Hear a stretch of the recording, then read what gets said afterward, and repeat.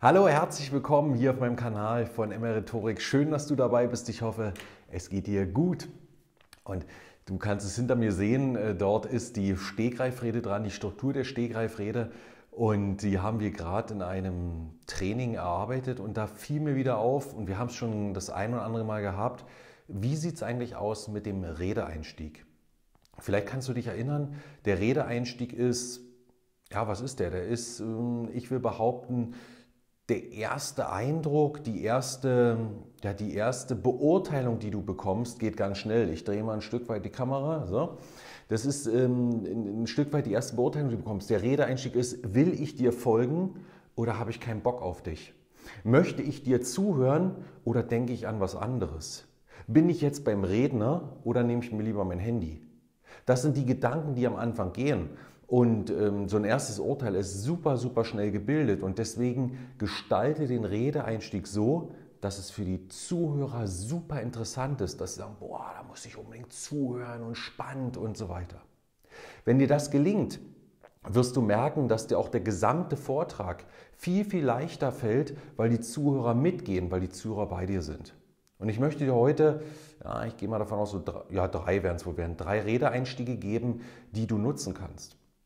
Und ähm, der erste Redeeinstieg ist, und wir haben es hinten dran zu stehen, schon mal eine Geschichte. Ich möchte, ähm, ja, ich reite darauf immer wieder rum. Vielleicht ist es dir aufgefallen, wenn du eine Geschichte erzählst, dann lauschen die Zuhörer, weil wir lieben Geschichten. Bitte erzähl eine wahre Geschichte und Menschen werden dir an den Lippen kleben. Angenommen der Fall, du hast einen Vortrag zum Thema Teamentwicklung. Machen wir Teamentwicklung. Und erzählst eine Geschichte, wo, die, wo, wo, wo du vielleicht mal irgendwann, ich sage es mal, auf die Schnauze gefallen bist, wo es dir nicht gelungen ist. Da fühlen diese Menschen rein und sagen, ah, weißt du was, das kennen wir, das ist uns auch schon mal passiert. Und dann kannst du diese Geschichte doch erzählen mit allen Gefühlen, mit allen Dialogen, mit allen Stories und am Ende natürlich abrunden dann sagst du, Mensch, meine Erkenntnis ist oder aus dieser Geschichte heraus. Und das ist das Interessante. Du kannst mit einer Geschichte Menschen etwas viel, viel näher bringen, als wenn du ihnen einfach sagst, so war's, so ist es und ähm, äh, daraus haben wir gelernt. Wenn du ihnen zwei, drei, vielleicht sogar fünf Minuten wirklich das chronologisch erzählst, was passiert ist, werden sie ganz, ganz nah sein bei, an dem, was du gerne erzählen möchtest. So, das ist schon mal eine Möglichkeit. Du kannst mit einer Geschichte beginnen. Und dann kannst du mit einer Sache beginnen, die ist äh, ungemein spannend und wird deinem Zuhörer ja, vor Spannung zerreißen lassen. Mit dieser Technik kannst du, kannst du deinen Zuhörer sowas von fesseln, weil ein Spannungsbogen aufgebaut wird, der kaum noch erträglich ist. Die Technik bietet dir die Möglichkeit, dass du deinen Zuhörer so reinziehst, dass die quasi mit offenem Mund vor dir sitzen und sagen, nur sag doch endlich, was ist es? Und ich habe es jetzt schon gemacht. Das ist die Verschleierung. Die Verschleierung ist etwas, du kommst mit, ja, mit fünf, sechs, sieben Sätzen, sagst du, das Produkt wird Ihnen, das Produkt zeigt Ihnen, mit diesem Produkt werden Sie. Oder sag, ja, was ist das für ein Produkt? Was ist das für ein Produkt? Oder diese Technik, diese Möglichkeit, was immer du hast. Und dann fang an, das Ganze zu umschreiben. Fang an, den Mund wässrig zu machen. Zeige diesen Menschen, hey, ich habe hier was ganz Wertvolles und du wirst gleich sehen, was es ist.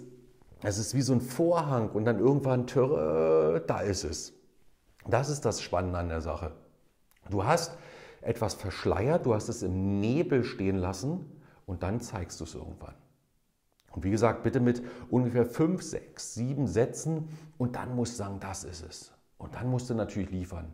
Aber das ist ein Einstieg, wo du, wo du ungemein viel erreichen kannst. Du kannst hier außergewöhnlich stark auftreten, weil einfach das Publikum denkt, ja, was ist es denn? Weil der Nebel weg will. Dein Gehirn will doch dafür sorgen, ah, das ist es. Und das ist das Interessante dabei, wenn du die Verschleierung nimmst. So, jetzt hatten wir schon die Geschichte, jetzt hatten wir die Verschleierung und eines der womöglich interessantesten Sachen, und das ist quasi nochmal eine Stufe höher als die Verschleierung, das ist das Informationsdefizit. Angenommen, Du fängst deinen Vortrag an, machst den Mund wässrig und sagst dann, und das erfahren Sie gleich. Dann werden dir die Zuhörer ganz, ganz lange folgen. Du kannst zum Beispiel damit loslegen, dass du sagst, meine Damen und Herren, diese neue Technik, die wir hier haben, wird Ihr Leben revolutionieren. Ihre Vorträge werden etwas ganz anderes werden. Und wie genau Sie das hinkriegen, das bekommen Sie am Ende meines Vortrags. Das bekommen Sie in wenigen Minuten. Das erzähle ich Ihnen gleich. Irgendwie so. Also erstmal mundwässrig machen und dann Schluss. Und dann redest du über irgendwas anderes. Und erzählst über dies, das, jenes. Und am Ende machst du den Bogen zu. Am Ende sagst du, und darum geht es. Und das ist das Wichtige. Du musst unbedingt den Bogen zumachen. Also, wir haben Geschichte, Verschleierung und jetzt das Informationsdefizit. Wenn du mit dem Informationsdefizit arbeitest, dann kannst du zwischendurch immer wieder diesen Loop aufmachen, immer wieder diese Spannung erzeugen, weil das für die, ja, für die Zuhörer super, super interessant ist, dort zu folgen und dort zu wissen, hey, was, was, was passiert? Ich will mehr wissen, du sag schon. Und damit kannst du loslegen. So, und mit den drei Möglichkeiten bitte ich dich, nie wieder irgendwie sowas zu machen wie, sehr geehrte Damen und Herren, ich erzähle Ihnen, sehr geehrte Damen und Herren, mein Name ist, ich habe das Thema mitgebracht. Das will keiner mehr. Das möchte keiner mehr hören. Bitte nimm die drei Möglichkeiten oder auch gerne hier diese anderen Sachen, die du hier siehst. Du kannst mit einer Wiederholung einsteigen. Ein Zitat ist auch sehr, sehr schön. Aber heute hier in diesem Video war der Schwerpunkt drauf gelegt auf die drei Techniken. Geschichte erzählen, kannst du. Verschleiern, musst du ein bisschen üben. Ja? Und das dritte ist Informationsdefizit, kannst du auch nehmen, weil das ist etwas, was wir immer wieder machen. Und wenn dir diese Einstiegsmöglichkeiten geholfen haben und du möchtest sie üben, dann komm gerne auf mein Seminar. Im Februar geht's los. Jetzt ist erstmal Weihnachtszeit und so weiter. Im Februar legen wir los. Da kannst du äh, live üben. Wir gehen da ganz, ganz tief rein, damit du danach ein noch besserer, besserer Redner bist, als du vielleicht jetzt schon bist. Denn ich weiß nicht, wie es dir geht, aber Kommunikation ist so ungemein wichtig. Kommunikation kann so viele Türen aufmachen und kann so viel bewegen. Deswegen wünsche ich dir, dass du jeden Tag ein kleines bisschen besser wirst, damit deine Reden noch besser sind, damit du noch mehr erreichen kannst, als du vielleicht jetzt schon erreicht hast. Denn nur wer gut redet, wird auch richtig Erfolg haben. Und deswegen wünsche ich dir jetzt, es ist Donnerstag, einen wunderbaren Tag. Wir haben, äh, was ist Totensonntag? Ich glaube, Totensonntag ist vor der Tür und dann geht es schon in die Adventszeit rein. Weihnachten ist nicht mehr weit. Freue mich, wenn du nächstes Mal wieder dabei bist und jetzt wünsche ich dir einen guten Tag, hab eine gute Zeit und wir sehen uns.